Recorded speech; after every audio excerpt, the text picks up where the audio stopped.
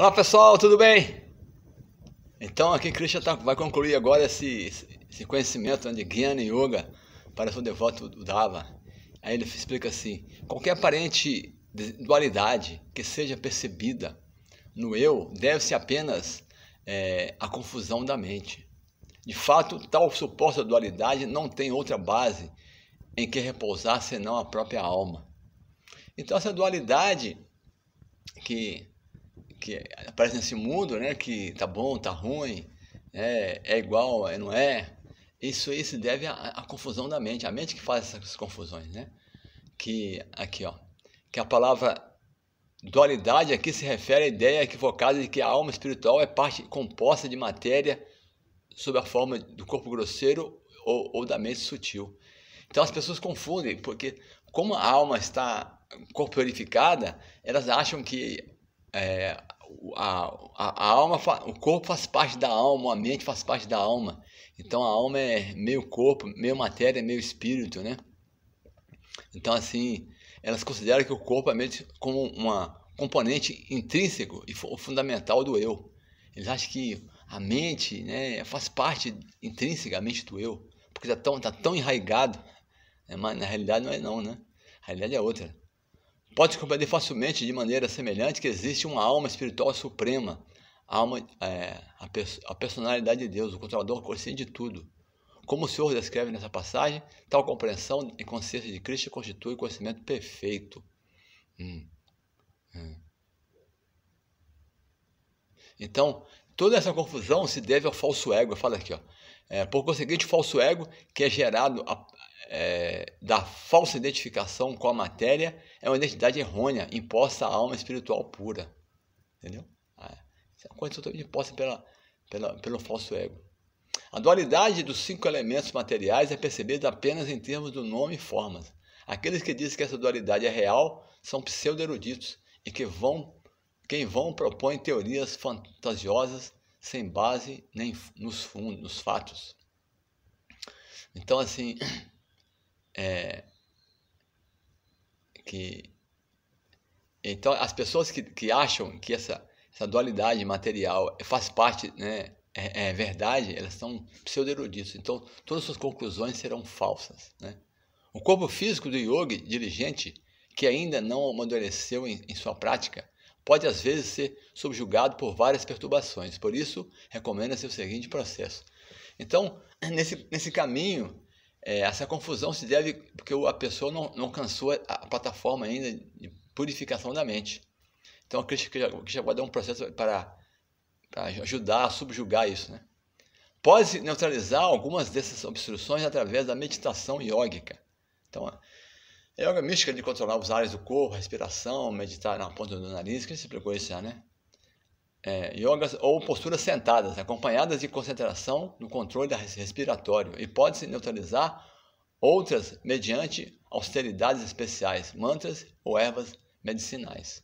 Então, tem outros processos, além, né, tem cantar de mantras e tem até ervas medicinais.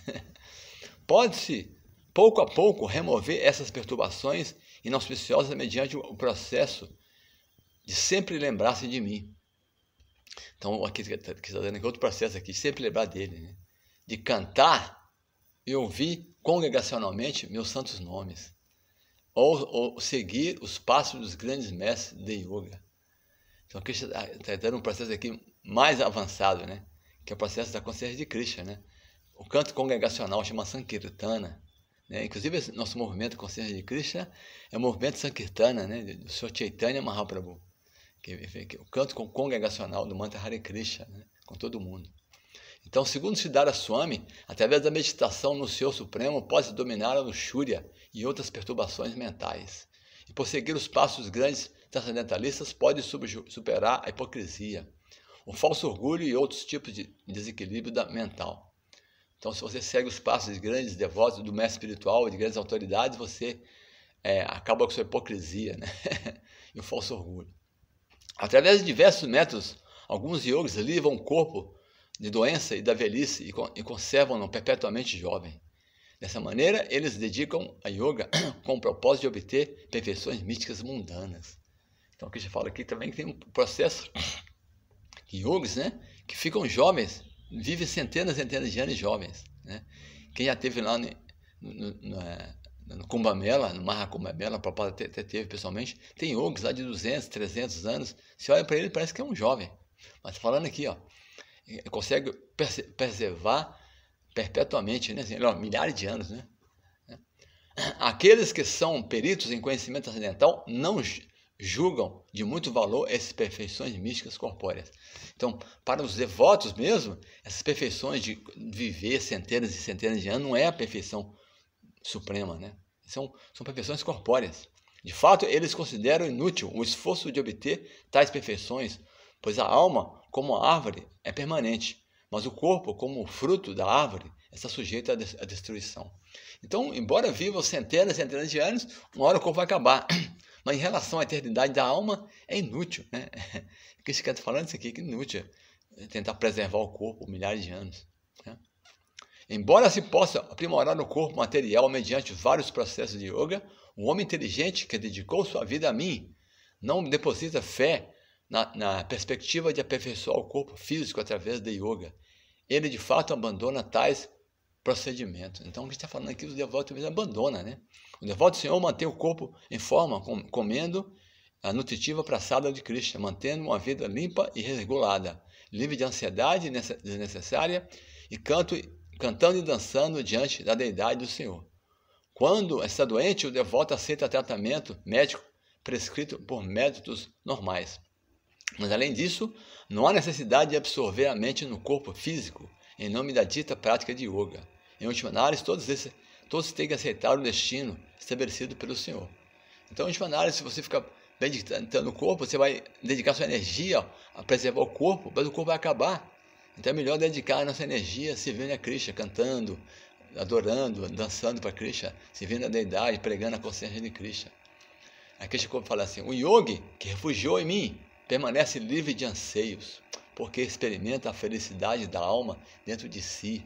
Dessa maneira, enquanto executa esse processo de yoga, ele jamais é derrotado por obstáculos. Então, aqui está falando aqui de perfeição, olha aqui. Yogi refugiou em mim, o devoto puro de Krishna, né? Krishna fala, né? De, yogi não, de todos os yogis, aquele que se refugiou em mim com fé é o mais elevado de todos. Aqui está confirmando a mesma coisa, né?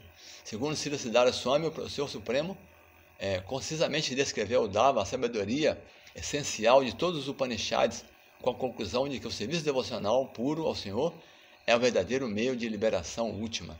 Então, isso aqui é serviço devocional puro. Né?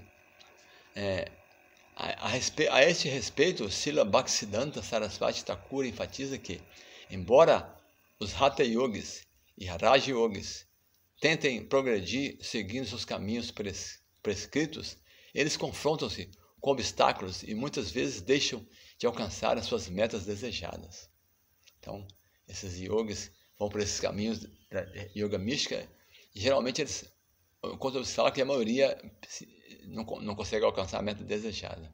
Contudo, quem se render ao Senhor Supremo, na certa, sairá vitorioso em seu caminho espiritual de volta ao lar, de volta ao Supremo. Então, Sri Bhaktisiddhanta está falando aqui que o devoto que se refugiou em Krishna mesmo, ele sairá vitorioso. Porque ele vai voltar para o mundo espiritual. O que está falando aqui, ó. É, ele jamais é derrotado por esses obstáculos. Né? E o devoto vive feliz, né? É, é ele experimenta a felicidade da alma. A felicidade do devoto é a felicidade da alma, por isso que é a felicidade eterna. Né? O, serviço emocional proporciona à pessoa a felicidade da alma. Né? Então, não é a felicidade material. Né? Então, aí o Dava vai perguntar para Krishna: Meu querido senhor Atilta, receio que o método de yoga que descrevesse seja muito difícil para alguém que, que não possa controlar a mente. Portanto, por favor, explica-me, em termos simples, como se pode executá-lo de modo mais fácil. então, o Dava está querendo simplificar para a gente, né? Ó Senhor dos olhos de lótus, em geral, os yogis que tentam estabilizar a mente experimentam frustração em virtude de sua incapacidade de aperfeiçoar o estado de transe. Dessa maneira, eles se cansam em seu esforço de pôr a mente sob controle. Ele fala a real, a real é que os yogis fracassam, Krishna, né? Sem o abrigo do Senhor Supremo, o yoga desanima facilmente na difícil tarefa de fixar a mente no Supremo. Então, na prática, quem não fixou a mente em Krishna, controlar a mente assim artificialmente, geralmente a pessoa cai. Vamos continuar no próximo vídeo.